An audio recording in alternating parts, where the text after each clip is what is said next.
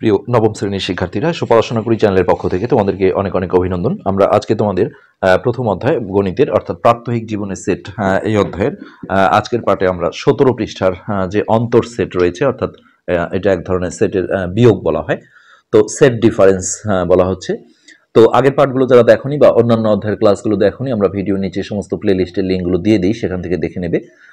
আরেকটা বিষয় যে আমরা গতবারের বইয়ের পুরাতন বইয়ের যে নবম, দশম শ্রেণির একসাথে ছিল, সেই বইটার আমরা ভিডিওগুলো কিন্তু রেখেছি সেখানে সেটের অনেক ভালো অধ্যায় ছিল, তোমরা সেটাও দেখতে পারো। তো সেই অল ভিডিওতে লেখা আছে ক্লাস নাইন টেন এসএসসি সেখানে তোমরা খুঁজে নিলে এই নতুন বইয়েরও সব প্লে লিস্টগুলো পেয়ে যাবে। তো আমরা শুরু করছি। কোনো মাদ্রাসা থেকে নবম শ্রেণির শিক্ষার্থীদের মধ্যে গণিত অলিম্পিয়াডের জন্য গণিত শিক্ষক পাঁচজনকে নির্বাচন করেছেন। তো তারা হলো সামির, নাসরিন, তাহসিন, বশির এবং আমিনা, এই পাঁচজন। অন্যদিকে আরবি শিক্ষক কোরআন তেলোয়াত প্রতিযোগিতায় অংশগ্রহণের জন্য তিনজনকে নির্বাচন করেছেন। তারা হলেন কোহিনুর, বশির এবং রেজওয়ান। তো এখানে আমরা দেখতে পাচ্ছি যে বশির কিন্তু এই গণিত অলিম্পিয়াডেও যেমন তার নাম আছে হ্যাঁ ঠিক একইভাবে এইখানে হচ্ছে যে কোরআন তেলোয়াতের এই প্রতিযোগিতাও তার নাম আছে। আর কোহিনুর এক জায়গায় আছে, রেজওয়ানও এক জায়গায় আছে। আচ্ছা যদি গণিত অলিম্পিয়াডের সেট এ হয়, অর্থাৎ এটাকে যদি আমরা এ সেট ভাবি এবং কোরআন তেলোয়াতের জন্য যে নির্বাচন করা হয়েছিল, তাদেরকে যদি বি সেট ভাবা হয়, তাহলে আমরা লিখতে পারি এ সেটের উপাদান হচ্ছে এই কয়জন? সামির, নাসরিন, তাহসিন, বশির, আমিনা। আর বি সেটে যেটা কোরআন তেলাওয়াতের জন্য নেওয়া হয়েছিল কোহিনুর, বশির আর রেজওয়ান। তো দুইটি প্রতিযোগিতা একই দিনে অনুষ্ঠিত হওয়ায় প্রধান শিক্ষক বললেন যে সেট এ থেকে, অর্থাৎ এই সেটটা থেকে হ্যাঁ সেট বি এর সদস্যদের বাদ দিতে হবে। একই সময়ে যদি দুইটা প্রতিযোগিতা হয়, তাহলে তো অংশগ্রহণ করতে পারবে না। তো এই জায়গা থেকে হচ্ছে যে এ সেট থেকে বি সেটের সদস্যদেরকে বাদ দিতে হবে। তো বাদ দিতে গেলে দেখো যে কমন আছে বসির হ্যাঁ সে কিন্তু হচ্ছে বাদ যাচ্ছে। তাহলে এ থেকে বি কে বাদ দেওয়ার পরে সেটটিকে কীভাবে প্রকাশ করব এবং সেটটির সদস্য তাহলে কারা হবে? তো এই বাদকে এইভাবে প্রকাশ করা হয়, যেটা আমরা আসলে অবলিক চিহ্নটা দেখো এই দিকে দিই। হ্যাঁ এটা স্ল্যাশ যেটা বলা হয়, এই দিকে চিহ্নটা হয়, অথবা মাইনাস চিহ্ন দিয়েও অনেকে করে মাইনাস চিহ্ন দিয়েও দেওয়া যায়। তো এ বাদ বি দ্বারা এবং একে এ থেকে বি এর সদস্য বাদ দিয়ে এ বাদ বি গঠন করা হয়। অর্থাৎ এ বাদ বি মানে হচ্ছে অ্যান্সারটা তোমাদের সবসময় যেটা আগে থাকবে। যদি এ বাদ বি বলে, তাহলে এই এ থেকে অ্যান্সারটা হবে, কিন্তু যেটা কমন থাকবে বসির সেটাকে বাদ দিতে হবে। অর্থাৎ দেখো সাম- সামির থাকল নাসরিন থাকল, তাহসিন থাকল, আমিনা থাকল। তো আমরা আরও উদাহরণ দেখব। এখানে সেট এ থেকে বশির বাদ যাবে, কারণ বশির বি সেটেরও সদস্য ছিল। অর্থাৎ এ থেকে বাদ দিতে হবে। কি বাদ দিতে হবে? বি সেটের কমন উপাদানগুলো বাদ দিতে হবে। এটাই হচ্ছে আমাদের সেটের অন্তর। অর্থাৎ একটি সেট থেকে অন্য একটি সেটের সদস্য বাদ দিয়ে গঠিত সেটকে অন্তর সেট বলা হয়। একটি সেট থেকে অন্য একটি সেটের সদস্য বাদ দিয়ে গঠিত সেট তো সেট এ থেকে সেট বি এর অন্তর সেটকে আমরা এই এ বাদ বি দ্বারা প্রকাশ করা হয় এবং পড়া হয় এ অন্তর বি অথবা এ ডিফারেন্স বি সেট গঠন পদ্ধতিতে তাহলে এটা এইভাবে লিখতে হবে যে এ বা বি সমান এক্স যেন এক্স এক্স মানে হচ্ছে এই উপাদানগুলো এ সেটের সদস্য কিন্তু এক্সটা বি সেটের সদস্য হবে না। যেমন দেখো আমরা যখন এটা গঠন করেছি এরা কিন্তু সবাই এ সেটে ছিল হ্যাঁ কিন্তু এইটা হবে না যে এই এক্স অর্থাৎ এই উপাদানগুলো বি সেটের আহ, সদস্য। এখানে দেখো বি সেটের যে কোহিনুর বশির রেজওয়ান ছিল তাদের মধ্যে কেউ নেই। তো সেট গঠন পদ্ধতিতে অন্তর সেট প্রকাশ করতে গেলে এইভাবে প্রকাশ করতে হবে। আমরা ইতিপূর্বে কিন্তু প্রতিটার যেটা আমরা সংযোগ সেট পড়েছিলাম হ্যাঁ, যে এ ইউনিয়ন বি তো এটাও দেখো সেট গঠন পদ্ধতির প্রকাশভঙ্গি ছিল এক্স যেন এক্স এক্সটা হচ্ছে এ সেটের উপাদান, আর এখানে অথবা লেখা ছিল যে অথবা এক্সটা বি সেটের উপাদান। এটা হলো সংযোগ সেটের সেট গঠন পদ্ধতি, আর যেটা সেট সেট অর্থাৎ ইন্টারসেকশন বা যেটা আমরা কমন উপাদানগুলো নিয়ে করি হ্যাঁ সেটার সেট গঠন পদ্ধতির লেখা ছিল এরকম এক্স যেন এক্সটা এ সেটের উপাদান, এখানে এবং দিয়ে বলা ছিল, এবং এক্সটা হচ্ছে যে বি সেটেরও উপাদান। তো এই এই পার্টটা আমরা আগের পার্টে আসলে করে এসেছি। তো আজকে যেটা অন্তর আমরা দেখছি যে এ বাদ বি এইটাকে সেট গঠন পদ্ধতিতে এইভাবে লিখতে হবে। এক্স যেটা আমরা এখানে দেখলাম, এই যে এক্স যেন এক্স তাহলে এক্সটা হচ্ছে এ সেটের উপাদান হ্যাঁ? এবং এবং এক্সট্রা এটা বি সেটের উপাদান নয়, অর্থাৎ এলিমেন্ট লিখে একটানে কেটে দিতে হবে। তো এটাই হচ্ছে সেটের যে অন্তর ছিল তার সেট গঠন পদ্ধতিতে লেখার প্রকাশভঙ্গি। এরপর আমরা একটা উদাহরণের অঙ্ক দেখব। উদাহরণ এখানে দেওয়া আছে, পি সমান হচ্ছে এক্স যেন এক্সটা বারো এর গুণনীয়ক সমূহ। আর কিউ সেটটা দেখো, তালিকা পদ্ধতিতে দুইটাই সেট গঠন পদ্ধতিতে দেওয়া আছে, আগে তালিকা পদ্ধতিতে নিয়ে আসতে হবে। তারপরে আমাদের অঙ্কটা সলভ করতে হবে। তো পি সেট ছিল হচ্ছে এক্স যেন এক্স এটা বলা ছিল টুয়েলভ এর গুণনীয়ক সমূহ। বারো এর গুণনীয়ক সমূহ। তো গুণনীয়ক মানে আমরা জানি যে এই বারোকে আসলে কি কি দিয়ে ভাগ করলে ভাগটা নিঃশেষে বিভাজ্য হবে সেগুলি হচ্ছে বারোর গুণনীয়ক। তাহলে পি সেটটা আমাদের এমন হবে, ওয়ান, টু, থ্রি ফোর, এগুলো সবগুলো দিয়ে আসলে বারোকে ভাগ করা যায়। তারপরে সিক্স, তারপরে টুয়েলভ, এটা হচ্ছে বারোর গুণনীয়কগুলো। One, two, three, one, two, three, four, six, twelve. Okay, এরপরে কিউ সেট যেটা হচ্ছে সেট গঠন পদ্ধতিতে দেওয়া ছিল, আমরা সেটা আগে তুলি। এক্স যেন এক্স এই শর্ত ছিল তিনের গণিতক থ্রি এর গণিতক। গণিতক মানে জাস্ট হচ্ছে নামতা পড়া। তিনের নামতা পড়লেই হবে। কিন্তু এটা যেহেতু অসীম, কখনো শেষ হবে না। যার কারণে আরেকটা শর্ত দেওয়া আছে যে সেই এক্সটার মান, অর্থাৎ উপাদানগুলো হ্যাঁ বারোর চেয়ে ছোট হবে অথবা এই এই দুটো চিহ্ন দিয়ে আসলে সমান চিহ্ন বোঝানো হয়, অর্থাৎ বারোর সমানও হবে। তো সেক্ষেত্রে আমাদের এই সেটের উপাদানগুলো তাহলে কি কি হবে দেখো? কিউ সমান হচ্ছে তিনককে তিন গণিতক হলেই নামতা পড়বে তোমরা, তিন দুগুণে ছয় তারপরে তিন ছয় আঠারো নেওয়া যাবে না, এখানে যেহেতু বারোর সরি তিনককে তিন তিন দুগুণে ছয়, তিন ত্রিক্ষা নয় আসবে তিন চারা বারো আমাদের নিতে হবে, যেহেতু এখানে বারোর সমানও আছে, তাহলে তিন ছয় নয় বারো, তিন ছয় নয় বারো। তো এবার আমরা দেখি যে এখানে আসলে কি চাওয়া হচ্ছে। আমরা আঠারো পৃষ্ঠায় চলে আসছি। তো এখন এই সেটটা দেখো পি বাদ কিউ এইটা বের করতে বলা হলো।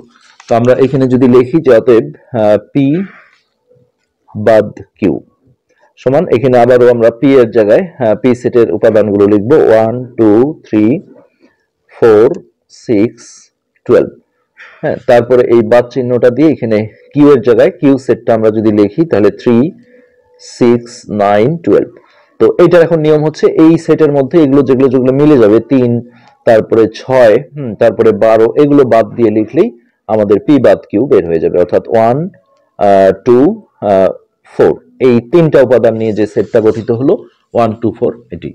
তো কখনো দেখো উল্টোটাও চাইতে পারে যে কিউ বাদ পি তো তখন যেটা হবে একই উত্তর কিন্তু হবে না তখন কিউ সেটটা আমাদের আগে লিখতে হবে থ্রি সিক্স নাইন টুয়েলভ এটা আমরা বাড়তি দেখাচ্ছি আসলে।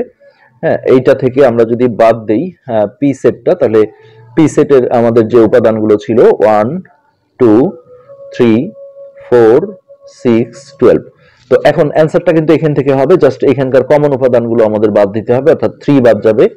তারপরে এখান থেকে হচ্ছে সিক্স বাদ যাবে আর হচ্ছে টুয়েলভ বাদ যাবে।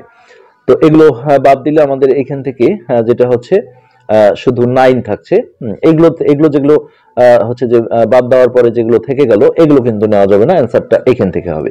এই থ্রিটা আমাদের মিলে গিয়েছিল, তারপরে এখানে সিক্স মিলে গিয়েছিল আর টুয়েলভ তো এগুলো বাদ যাবে আর এই নাইনটা হবে অ্যান্সার অর্থাৎ পি বাদ কিউ আর কিউ বাদ কি কিউ বাদ পি এই দুটোর উত্তর কিন্তু সেম হবে না, ভিন্ন ভিন্ন হবে। তো এরপরে আমরা দেখি মাথা খাটাও, এখানে কি দেওয়া হলো, এটা আমরা একটু দেখে নিই। যদি এ একটা সেট দেওয়া হলো বি এটা একটা সেট হ্যাঁ তাহলে বি বাদ এ কত হবে? তো সিম্পলি এখানে আমরা এ সেটটা যদি তুলে নিই, যে এ সেট হচ্ছে আমাদের zero one two three four হ্যাঁ আর বি সেটের যে উপাদানগুলো ছিল, সেটা ছিল ওয়ান এখানে একই উপাদান রিপিট করা হয়েছে one two two three one okay এখন দেখো বি বাদ এ তো আমরা আরেকবার চেক করে নিই zero one two three four আর এখানে ছিল one two two three one তাহলে বি বাদ এ বললে আমাকে বি সেটটা আগে লিখতে হবে one two two three one হ্যাঁ দিয়ে এই বাদ চিহ্নটা আমরা দিলাম, আর এখানে এর জায়গায় এ সেটের উপাদানগুলো যদি লিখি zero one two three four তো এখানে অ্যান্সার আমাদের এখান থেকে হবে জাস্ট কমন উপাদানগুলো বাদ দিতে হবে। অর্থাৎ এখানে ওয়ান আছে, এই যে ওয়ানটা মিলে গেল, এটা বাদ যাবে। হ্যাঁ টু বাদ যাবে। তো এখানে টু আসলে এই টুটাও আসবে না, যেহেতু সেটের আসলে রিপিট হয় না বা পুনরাবৃত্তি হয় না। তারপরে থ্রিটা বাদ যাবে। হুম, বাদ গেলে এখানে কিন্তু ওয়ানও বাদ যায়। হ্যাঁ সেক্ষেত্রে এটার অ্যান্সার কিন্তু আমাদের ফাঁকা সেট হবে, যেহেতু আসলে সরি হ্যাঁ ঠিকই আছে, ফাঁকা সেট হবে। এখানে জিরো হবে না এই কারণে যে অ্যান্সারটা যেহেতু এইখান থেকে হবে, তাহলে এটার মান কিন্তু আমাদের ফাঁকা সেট দিতে হবে। তো এই এরপরে যে দুই নম্বর এখানে বলা হয়েছিল যে বি বাদ এ কত হবে? হুম, ব্যাখ্যা দাও। তো ব্যাখ্যা দেওয়ার কিছু নেই। আসলে এখানে আমরা বলব এইভাবে যে বি বাদ এ অর্থ হলো অর্থ হলো বি সেট থেকে, বি সেট থেকে হ্যাঁ এ সেটের এ সেটের উপাদানগুলো উপাদানগুলো বাদ দিয়ে গঠিত সেট। বাদ দিয়ে গঠিত সেট। তো এটা করতে গিয়ে আমরা দেখলাম যে আসলে বি সেটে কিছুই থাকে না, এই কারণে আমাদের ফাঁকা সেট হয়েছে অ্যান্সার। হুম, তো এক্ষেত্রে বি থেকে বি থেকে এ সেটের এ সেটের উপাদান উপাদান বাদ দিলে হ্যাঁ কোনো উপাদান থাকে না। কোনো উপাদান থাকে না। তাই বি বাদ এ এর মান হবে ফাঁকা। কোনো উপাদান না থাকা মানে এটা হচ্ছে ফাঁকা সেট, যেটা আমাদের এই চিহ্ন দিয়ে আমরা দিই। ওকে এরপর দুই নম্বর যে অঙ্কটা রয়েছে, এটা হচ্ছে এইভাবে দেওয়া আছে, এ, এটা আমরা জানি যে এটা উপসেট চিহ্ন তাহলে এ উপসেট বি, এটা হচ্ছে বি এর একটা উপসেট হলে তবে এইখানে যেটা বলা হলো যে এ বাদ বি, এ বাদ বি হ্যাঁ কত হবে ব্যাখ্যা করো। তো এরকম দেখো আমরা যদি একটা উদাহরণ বা একটা সেট গঠন করে নিই, যে এটা হবে বি এর একটা উপসেট। অর্থাৎ আমরা বি সেট যদি এইভাবে একটা তৈরি করি, ধরো যে four five six seven eight আনুমানিক আমরা লিখে নিলাম। তো আর একটা এ সেট দেখো, এখান থেকে আমরা এর একটা উপসেট বের করে নিই হ্যাঁ? যে কোনো একটা, দুটা বা তিনটা উপাদান নিয়ে এখান থেকে আমরা সিলেকশন করলাম, ধরো যে, ছয় আর সাত।